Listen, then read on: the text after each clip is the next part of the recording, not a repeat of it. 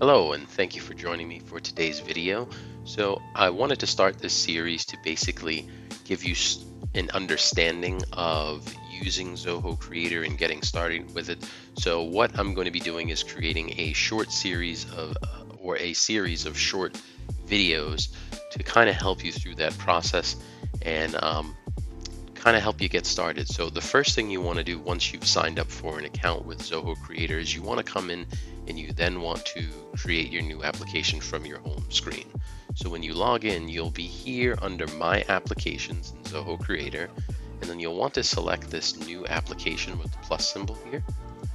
And then it will bring up a menu of all the available applications that Zoho has inside of Zoho Creator, kind of just starter apps that basically they were just pre-designed for you. Some may service your needs, but uh, most of the time, if you're going with a custom solution like Zoho Creator, well, there's nothing wrong with using some of these pre-built solutions. However, the majority of you, and for the, the case of the series, we're going to be creating an application from scratch.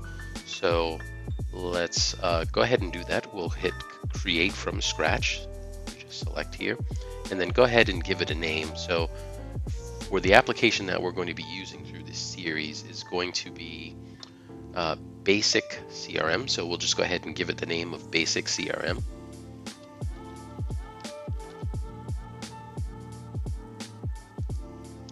And once you've done giving it your name of Basic CRM, you'll want to go ahead and hit Create.